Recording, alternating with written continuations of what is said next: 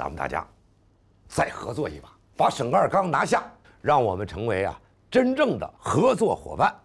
我的想法不知道合不合适。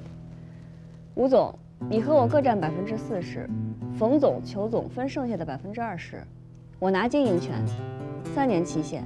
如果我一直盈利的话，我到时候收购大家的一点股份，确保我的控制权。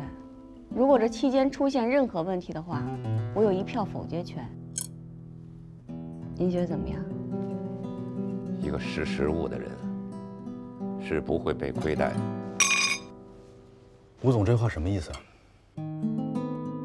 小洋人儿，当初我给你借定金的时候，你一分都不给，回头你就给了他那么多钱，是你成就了他空手套白狼。要是没有你，他能有今天？他有资格坐在这里，他还敢这么跟我说话，竟然跟我要经营权。